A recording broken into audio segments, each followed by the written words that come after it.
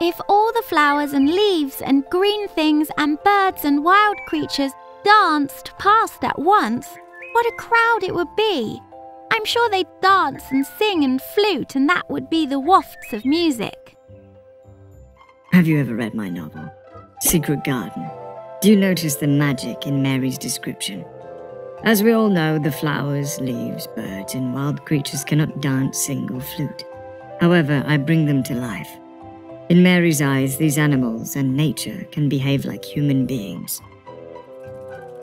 This is a literary technique called personification. It's when non human objects or phenomena are given human characteristics and sensibilities.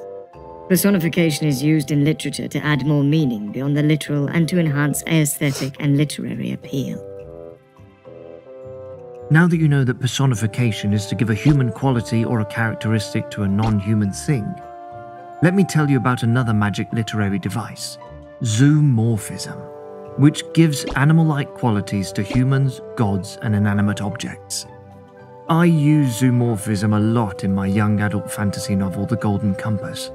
I often ascribe animal characteristics to humans.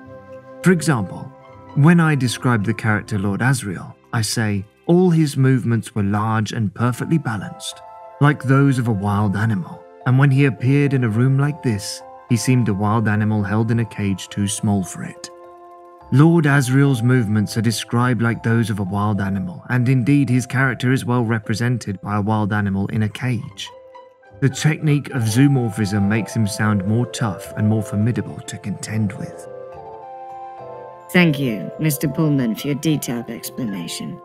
Today, we have introduced the devices of personification and zoomorphism to you. They appear similar, but are in fact different. Both figurative devices can make the text more vivid and compelling.